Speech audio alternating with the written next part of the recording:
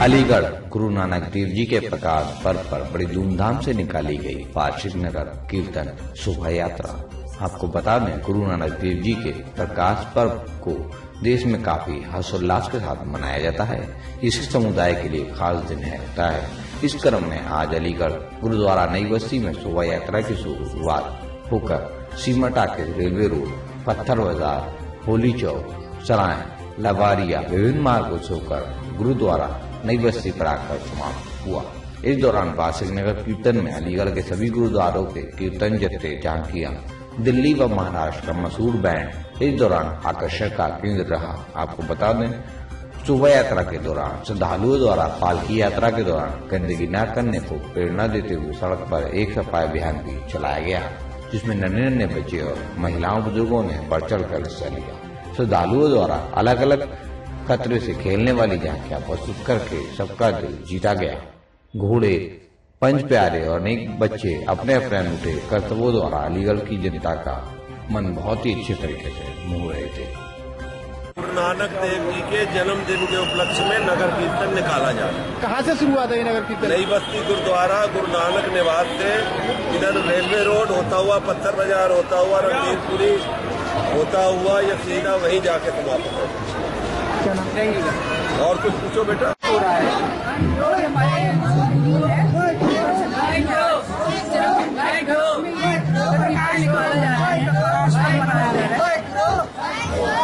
किस तरीके से योग करते हैं आज के कार्यक्रम को।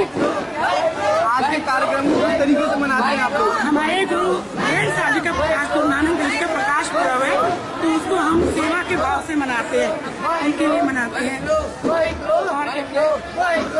का कार्यक्रम आयोजित हो रहा है। सर, आज हमारे गुरु नानक देव जी, जो हमारे प्रथम गुरु हैं, जिन्होंने सिख धर्म चलाया था, ये उनके, आपके प्रकाश उत्सव के आगमन की खुशी में हम ये प्रभात फेरी टाइप में नगर कीर्तन हम निकाल रहे हैं। इसमें हमारे सारे समाज के लोग हमारा सहयोग करते हैं और हम लोग चढ़ के सारे परिवार से सब लोग व्यक्ति हमारे जो है, इसमें हिस्सा लेते हैं। इसका जो आयोजन है, हमारे गुरुद्वारे के हमारे प्रधान साहब हैं बलविंदर सिंह जी बिल्कुल उन्होंने दिया है। ये बॉबी जी हैं हमारे।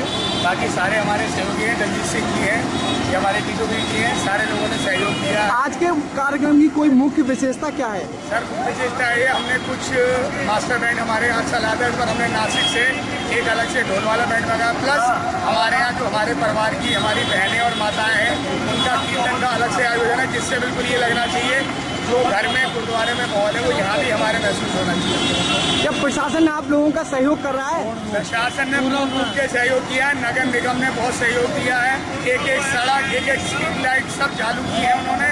हम लोगों को बुला के हमारे साथ पूरा सहयोग किया ये कार्यक्रम कहाँ से शुरू हुआ है? ये शुरू हो गए। क्या नाम है आपका?